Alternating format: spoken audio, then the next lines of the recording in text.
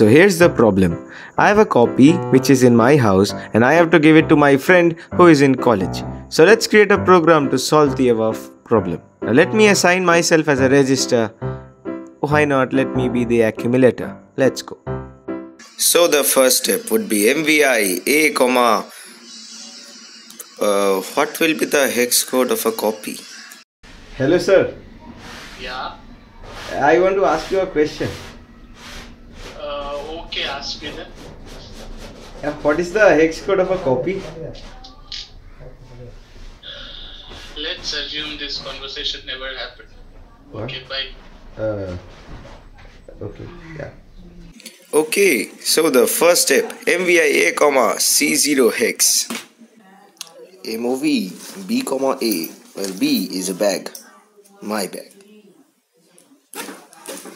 So it takes 16 rupees in total for me to go from my house to the college. So let's set a counter and let's make it MVIC comma 10 hex as it is rupees 16, right? And also there will be a DCRC to decrement the counter. So it will decrement 15 times until it reaches rupees 0 and at that time I will be in my college, hopefully. And it will take a little bit of time. So let's say, let us add some delay signals.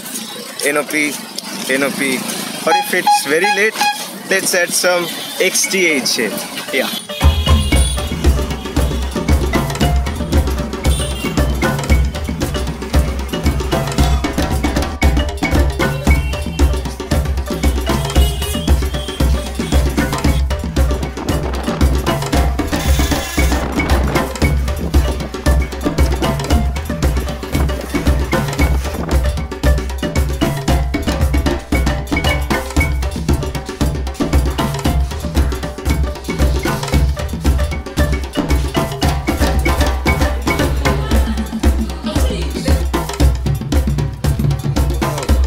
MOV A comma B STA A000 Is this my hex code?